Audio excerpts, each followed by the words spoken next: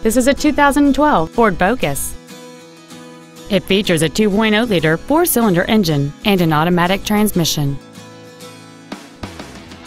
Features include a low tire pressure indicator, traction control and stability control systems, full power accessories, a CD player, a security system, fog lamps, an anti-lock braking system, a passenger side airbag, air conditioning, and this vehicle has fewer than 31,000 miles on the odometer.